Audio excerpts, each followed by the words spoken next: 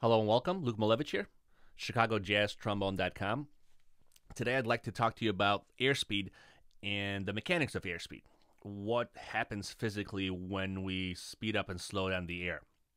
Now, I titled this video Upper Register because that's what we're going to be discussing, but that's going to be also the, the only time I'll try to make that the only time where I use that word because as we as we work on accessing the different registers, we always want to make sure that we're thinking in terms of of the airspeed and not so horizontal and not vertical because the air doesn't move in that direction right? The air is not vertical. We're moving air in a forward motion and we're just speeding it up and slowing it down and that's how i always like to think about it. So if i start to use words like up or down it then creates this image in in, in my mind and i'm sure it does for you as well of how things are.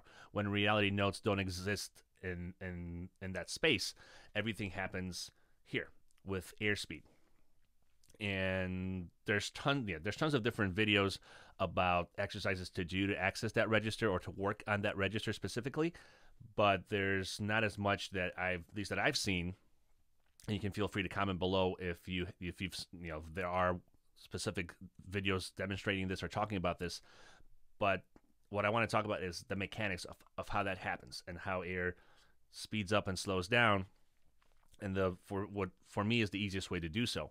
And i like to practice things uh, concepts whether it's a new concept or things that i've been working on for a long time i like to practice things away from the instrument just to be able to understand the mechanics of how everything's supposed to happen. Because as soon as you know as soon as you pick up the horn then it becomes trickier to focus on one concept. Then you're you know you're holding the instrument, you're thinking about tension or releasing tension. You're thinking about everything that happens with the mouthpiece being pressed against your lips.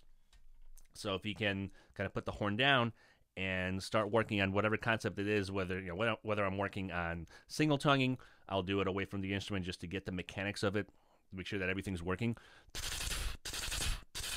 If I'm working on double tonguing, or doodle tonguing or ghosting notes. It's always done away from the instrument. You know, there's only so many hours a day that we can practice before we get tired. So that's a great way to do things. I'll do the same thing with improvising as well. I'll improvise lines just this way where you know I know where all the positions are. I know what notes I want to play. And I'll go through through uh, solo and, and kind of in this manner, and then when I pick up the horn, if it's the next day or maybe maybe later on during the day, it makes it a lot easier for me to then you know kind of play through whatever whatever the tune was that I was working on, whatever set of changes I was working on. But today, let's talk specifically about airspeed and how to how I access kind of that that register. What I used to do when I was younger, and obviously this isn't the best way to do it, but I would only use my embouchure and my lips to speed up the air. So what I would do is, you know, you start with a with a nice open open aperture, like you're saying ooh. I would kind of bring my both my lips in to create a much smaller opening, which would then speed up the air, and sounds like this. As you can hear the air speeding up, you can you have an idea of what the note's going to be if I were to pick up the horn. What you don't hear, and what I can feel, is that that creates a ton of back pressure because what essentially I'm doing is you know I have a nice nice open cavity inside and all of a sudden the air is being forced into this tiny opening which creates a ton of back pressure. I can feel it in my corners, I can feel it actually in my jaw, I can feel it in in my neck and in my lungs everywhere. I can I can feel the air kind of backing up which it'll allow me to play play certain notes but it won't me it won't allow me to do it for very long. So my endurance is going to be be much smaller. What you want to do is find a way to speed up the air before it gets to that opening. In order to do that, you can kind of employ a similar technique as you would if you were whistling. For those of you that know how to whistle, this is going to be a little bit easier to understand. When you what, so what happens when you whistle, and if you start going there, you do that by lifting up your tongue. So for me, I'm keeping the front of my tongue. For those of you that don't don't know how to whistle or can't whistle, I'm keeping the front of my tongue kind of touching the upper part of my bottom teeth, and the sides of my tongue are actually slightly in contact with the uh, the upper my upper teeth on the side here, the bottom of my upper teeth, and that creates kind of this this raised arch in my tongue. And what that does is funnels the air through that opening really, really, really quickly. I'll kind of demonstrate what, what, what happens. I'll start again with a nice open aperture, and I'll I'll speed up the air while also moving my tongue.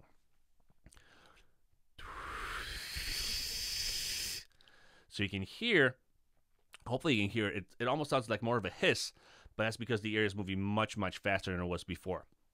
Now I'll demonstrate two. I'll do one with just the embouchure and with my tongue being uh, low and out of the way, and I'll do one with my tongue being raised, and you'll be hopefully you'll be able to hear how the air speeds up and the the different um, the different sound in the airspeed.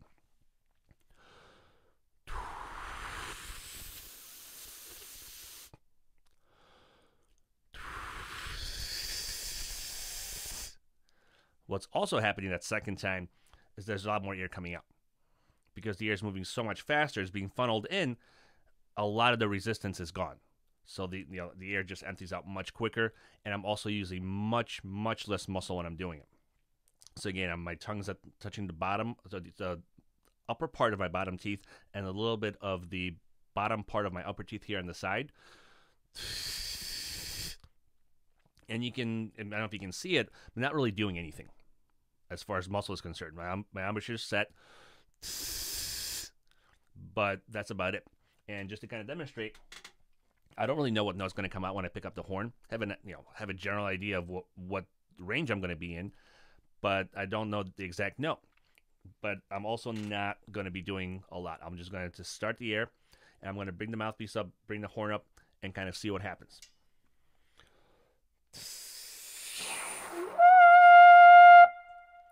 and it was really easy. There's not I wasn't really doing much other than just keeping the you know keeping the air moving really really quickly.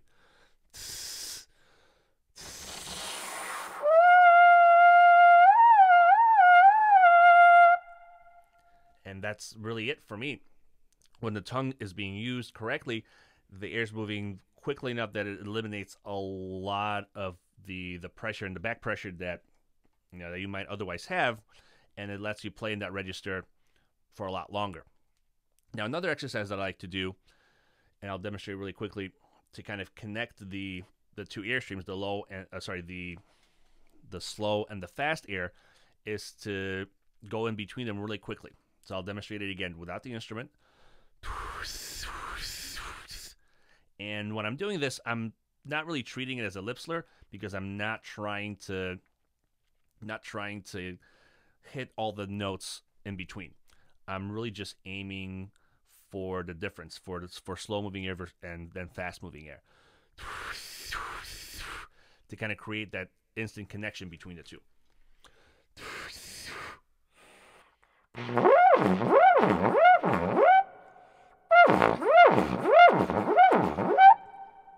So again, it's not meant to be an exercise that that has the notes in the middle sounding good because they won't.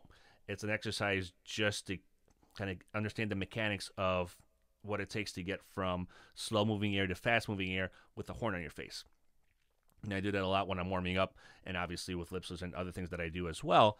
But that kind of exercise helps me to make sure that I'm able to move the air slowly and then quickly at will with the proper technique and not you know not allowing any any unnecessary tension to creep into to what I'm doing. And hope uh, so. Hopefully, this has been helpful to you. And again, if you can understand the concept without the instrument, once you pick up the horn, it's going to be much much easier to do. Because practicing it solely on the instrument without kind of getting the mechanics of it together here, it can work, but I would imagine it would take a lot longer to kind of to, to figure it out that way. So I encourage you to to practice as much as you can away from the instrument to understand the concept of whatever it is you're doing. And then when you apply the instrument, things are going to be much easier. So, thank you for joining me and hope to see you next time.